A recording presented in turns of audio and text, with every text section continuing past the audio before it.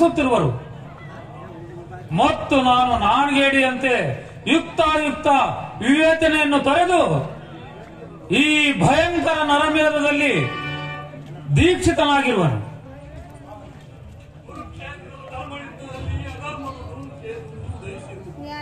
ನೀನು ದಳಪತಿಯಾಗಿದ್ದು ಈಗಾಗುವುದೇ ಗುರುದೇವ. ಏನಾಯ್ತು ಯುಧಿಷ್ಠರ? ನೀನು ರಚಿಸಿದ ಅಭಿಮಾನಿ ಕುಮಾರನ ಸಾವಿನ ಸಿಡಿಯಾಗಿ ಪರಿಣಮಿಸಿರುವುದು. ನಮ್ಮೆಲ್ಲರ ಅನುರಾಧವನ್ನು ಲೆಕ್ಕಿಸದೆ ಕುಮಾರನು ವ್ಯೂಹವನ್ನು ಪ್ರವೇಶಿಸಿದನು.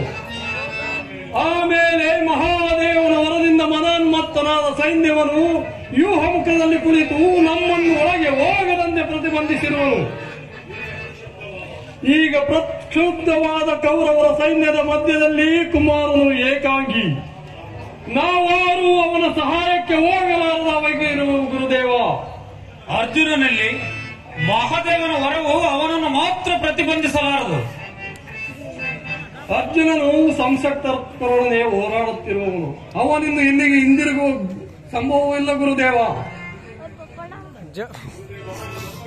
ಗುರುದೇವ ಇದು ಧರ್ಮ ಯುದ್ಧವಲ್ಲ ಇದಕ್ಕೊಂದು ಪ್ರತೀಕಾರವನ್ನು ಚಿಂತಿಸು. गुरुदेव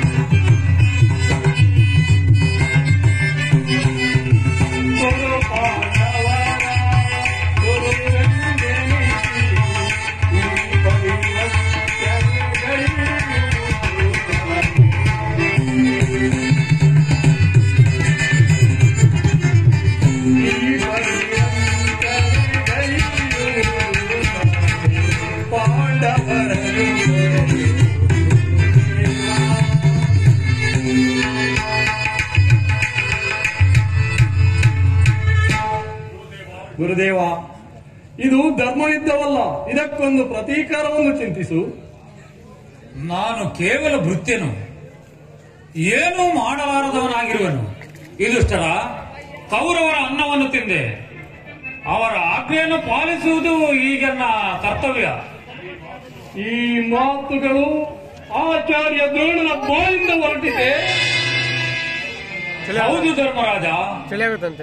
ಸೇವಾ ಪಾಶದಿಂದ ಇಂದು ಕೋಟಿ ಕೋಟಿ ದ್ರೋಣರು ಧರ್ಮದ ಹೆಸರನ್ನು ಕೂಡ ಮರೆತಿರುವರು. ಅವರ ಬಾಡಿದ ಕಣ್ಣುಗಳಿಗೆ ಬೀಳುವುದು ತಮ್ಮ ಹಸಿದ ಹೊಟ್ಟೆ ಒಡೆಯನ ಅಡಿದವರೇ. ಇವೆರಡೇ.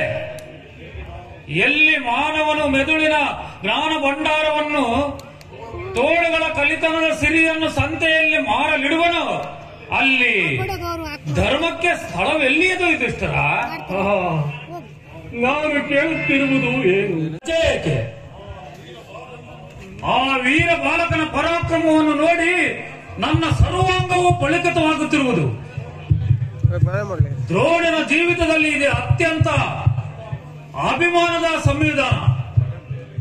ಜಗತ್ತಿನಲ್ಲಿ ದ್ರೋಣರ ಶಿಷ್ಯರೆಂತಹವರೆಂದರೆ ಆ ಶಿಷ್ಯನೊಬ್ಬನ ಮಗ ಸಂಗಡ ಸೆಣಸಲು ಸ್ವಯಂ ದ್ರೋಣನು ಅಸಮರ್ಥನು. ನೋಡು ಕುರು ರಾಜ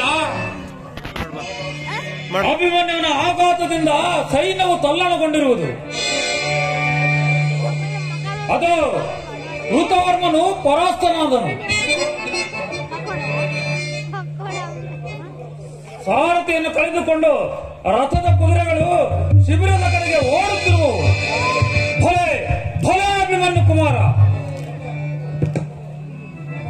ಆಯಿತು ಪ್ರಮಾದವಾಯಿತು. ಆಚಾರ್ಯ ಅಭಿಮನ್ಯನ ಒದೆ ಹೊರತು ಕುರು- ಕುರುಕುಲಕ್ಕೆ ವಿಸ್ತಾರವಿಲ್ಲ. ಅದನ್ನು ಬಲ್ಲೆ ಆದರೆ ಏನು ಮಾಡುವುದು ಕಾರಣ? ಈ ದಿನದ ಅದ್ಭುತ ಘಟನೆಗಳಿಂದ ನನ್ನ ಬುದ್ಧಿಯು ಸ್ತಂಭಿತವಾಗಿರುವುದು ದ್ರೋಣನ ಶಿಷ್ಯನಿಗೆ ಶಿಷ್ಯನಾದ ಅಷ್ಟಾದಶ ವರ್ಷದ ತರುಣ ವೀರನೊಬ್ಬನು ಸಮಗ್ರ ಕುರುಸೈನ್ಯದೊಡನೆ ಸೆಳೆಸುತ್ತಿರುವನು ಅಸ್ತ್ರಾಚಾರ್ಯನೆಂಬ ದ್ರೋಣನೆಂದು ದ್ರೋಣನ ಖ್ಯಾತಿ ಸಾರ್ಥಕವಾಯಿತು. ಸರ್ವನಾಶ! ಹತ್ತು ಆಚಾರ್ಯ! ಕುಮಾರ ಲಕ್ಷ್ಮಣನು ಅಭಿಮಾನಿಗೆ ಎದುರಾದನು. ಪ್ರಮಾದವಾಯ್ತು ಎಲ್ಲರೂ ನಡೆಯಿರಿ